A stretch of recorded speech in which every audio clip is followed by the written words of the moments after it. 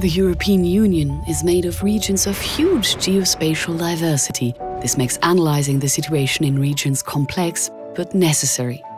How can we compare these so very different places? Eurostat uses a set of geospatial classifications, but the heart of these is NUTS, the nomenclature of territorial units for statistics.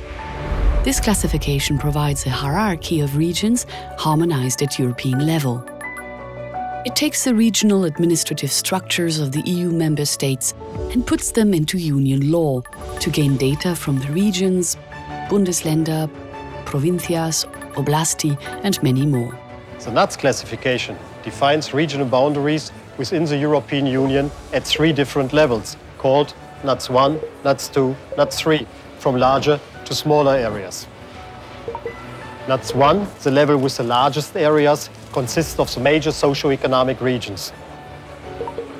NUTS 2 are the basic regions for the application of regional development policy and are used, for instance, to determine the eligibility from the structural and investment funds. NUTS 3 are the smaller regions for specific diagnoses. The NUTS classification prefers units, regions, which have an administrative authority, as this supports the availability of data and the capacity to implement policy. For EFTA and EU candidate countries, regions have been defined and agreed as statistical regions. They follow exactly the same rules as the NUTS regions in the EU, although they have no legal basis.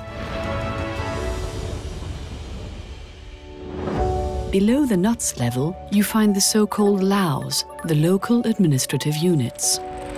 These are the communes and municipalities of the EU. They are the building blocks of the NUTS and are classified as cities, towns, suburbs, or rural areas. We maintain around 120,000 of them in the European Union.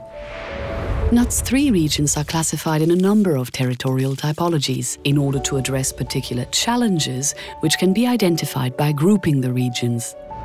Urban regions work differently from rural ones and coastal regions often have their unique characteristics, like an ocean-centric economy.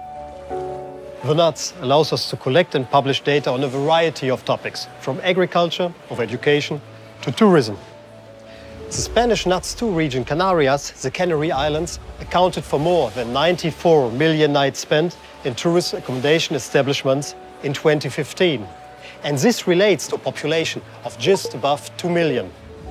They are by far the European region with the most tourist nights spent, followed by Ile-de-France with Paris and by Catalonia. The regional data are heavily used for socio-economic analysis and for policy planning, in particular in the policy area of regional development. And they might also help you with the planning of your next holidays.